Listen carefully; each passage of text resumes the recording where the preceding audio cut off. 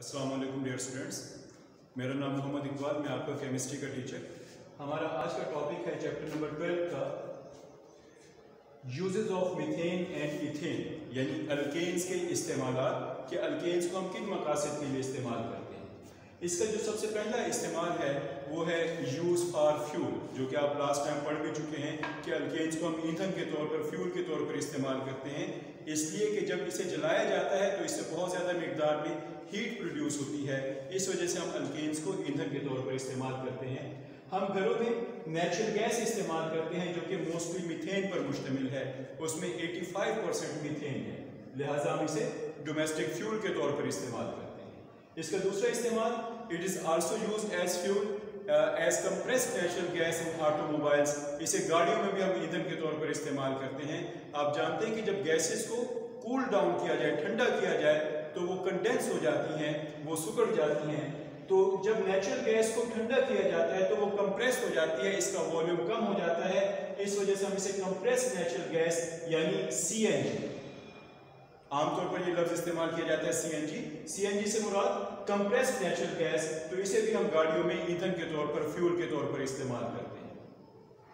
इसके बाद नेक्स्ट है कि हम ये जो अल्केन्स हैं, इन्हें हम मुख्तलिफ़ केमिकल्स की तैयारी में इस्तेमाल करते हैं और वो केमिकल्स फिर आगे मुख्तलिफ़ प्रोसेस या मुख्तलिफ़ मजीद केमिकल्स की तैयारी में इस्तेमाल होते हैं।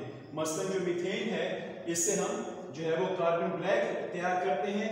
ये कार्बन ब्लैक शू पॉलिश की तैयारी में प्रिंटर इंक्स की तैयारी में और रबड़ इंडस्ट्री में या टायर्स की तैयारी में फिलर के तौर पर इस्तेमाल होता है। इसे रबड़ में ऐड करते हैं, जिसकी वजह से रबड़ में ड्यूरेबिलिटी पैदा होती है, उसमें स्टिफनेस पैदा होती है। इसी तरह जो प्रिंटर इंक है, मसलन फोटोस्टेट की जो इंक है, उसमें कार्बन ब्लैक इस्तेमाल होता है। इसी तरह आपकी जो बुक्स हैं या न्यूज़पेपर अखबार वगैरह हैं, उनके जो, उनके लिए प्रिंटर में जो इंक इस्तेमाल होती है, उसमें भी कार्बन ब्लैक इस्तेमाल होता है। तो ये मेन ब्लैक कलर का पिगमेंट है, जिसे हम मुख्तलिफ़, जो है वो इंडस्ट्रीज़ में इस्तेमाल करते हैं। इसके अलावा इससे हम मिथाइल अल्कोहल और इथाइल अल्कोहल इस्तेमाल करते हैं। इनमें इथाइल, अल्कोहल बेवरेजेस वगैरह के लिए इस्तेमाल होता है मेडिसिन में इस्तेमाल होता है। और इसके साथ साथ ये, जो है वो सॉल्वेंट के तौर पर भी इस्तेमाल होता है, मुख्तलिफ़ किस्म के ऑर्गेनिक कंपाउंड को डिजोल्व करने के लिए इस्तेमाल होता है। इसके साथ साथ जो हाइड्रोकार्बन है मीथेन है, या आपने पिछले टॉपिक में पढ़ा है, इसे क्लोरोफॉर्म हम तैयार करते हैं। क्लोरोफॉर्म एक तो एनेस्थीसिया के तौर पर इस्तेमाल होता है, मरीज़ को बेहोश करने के लिए।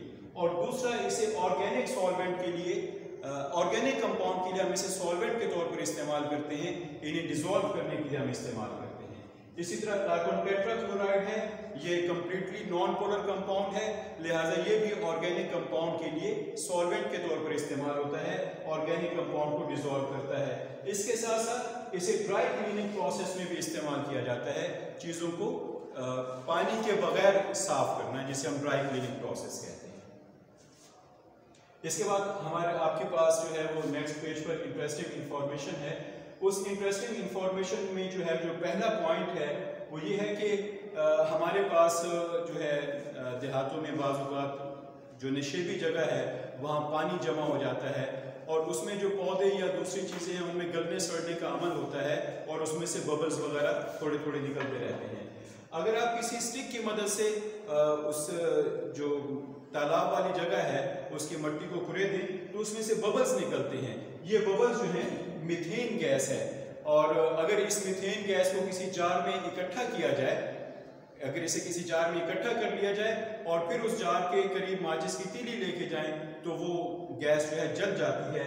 और वो जो गैस है, mostly methane C H four है और उसे हम चूँकि मार्श से जोड़ों और तालाबों से हासिल करते हैं, इसलिए उसे मार्श गैस कहते हैं। इसके साथ साथ जो मुख्तलिफ़ ऑर्चिड्स हैं, फलदार पौधे हैं वो भी अल्केन्स तैयार करते हैं और इन अल्केन्स की स्मेल की वजह से हनी बी और मुख्तलिफ़ इंसेक्ट्स उसकी तरफ़ मुतवजह होते हैं और उन ऑर्चिड्स में पोलिनेशन का अमल होता है। इसके साथ हमारे पास जो नेक्स्ट टॉपिक है हमारा वो alkenes alkenes they are the unsaturated hydrocarbon in which carbon to carbon triple bond is present अगर देखिए ये आपने फंक्शनल ग्रुप में पढ़ा था H two C double bond C H two H two C double bond C H two ये double bond वाले जो कंपाउंड हैं, इन्हें हम अल्कीन्स कहते हैं। ये सिंपलेस्ट इनमें जो है, वो हमारे पास सी टू एच फोर है और इसका जो जनरल फार्मूला है, वो है C n H two n यानी कार्बन एटम की तादाद जो है वो एन है, ये दो भी हो सकती है, तीन भी हो सकती है ऑनवर्ड और हाइड्रोजन की तादाद को कैलकुलेट करने के लिए एन नंबर को, यानी कार्बन एटम्स की तादाद को टू से मल्टीप्लाई कर देंगे तो हमारे पास जो है अल्कीन्स का हाइड्रोजन एटम्स की तादाद जो है वो कैलकुलेट हो जाएगी.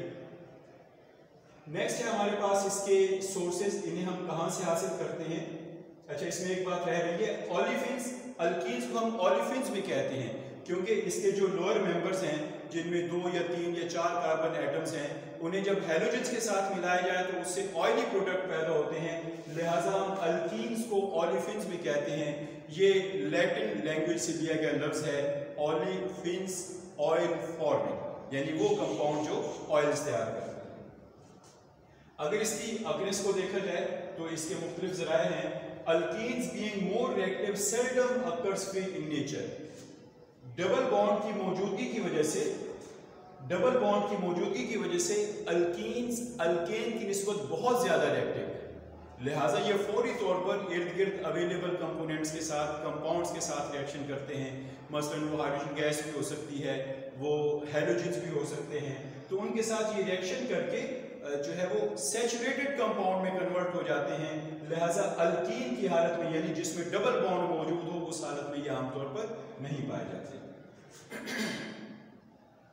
Lower alkenes, they are also present in coal gas in minute quantity. Coal gas उसमें जो हम फ्रेश डिस्ट्रक्टिव डिस्टिलेशन से तैयार करते हैं, उसमें भी थोड़ी मकदार में कोल गैस ये अल्कीन्स मौजूद होते हैं। इसके साथ ethylene is in natural gas sometimes occurs in concentration of 20 percent बाजू जो नेचुरल गैस है, उसमें इसकी मकदार जो है वो 20 परसेंट तक हो सकती है। Alkenes are produced in large amount by the cracking of the petroleum Petroleum की क्रैकिंग क्रैकिंग से मुराद decomposition of a compound at high temperature in the absence of oxygen. किसी कंपाउंड को जब हम हवा की गैर मौजूदगी में बहुत हाई टेम्परेचर पर गर्म करते हैं तो वो अपने बेसिक कंपोनेंट में तब्दील हो टूट जाता है छोटे छोटे कंपोनेंट्स में टूट जाता है। इस प्रोसेस को हम जो है वो डेस्ट्रक्टिव डिस्टिलेशन कहते हैं। तो इससे जो है वो हमें अल्केन और अल्केन्स का मिक्सचर हासिल होता है। जिसे हम फिर फ्रैक्शनल डिस्प्लेशन के अमल के तहत एक दूसरे से अलग अलग करते हैं। तो स्टूडेंट्स ये हमारा आज का टॉपिक था। उम्मीद है आपने इसे अच्छी तरह समझ लिया होगा। अगर कोई प्रॉब्लम है तो हमारे व्हाट्सएप नंबर पर हमसे रब्ता करें और इसके अलावा हमारे चैनल को ज़रूर सब्सक्राइब करें। बहुत शुक्रिया।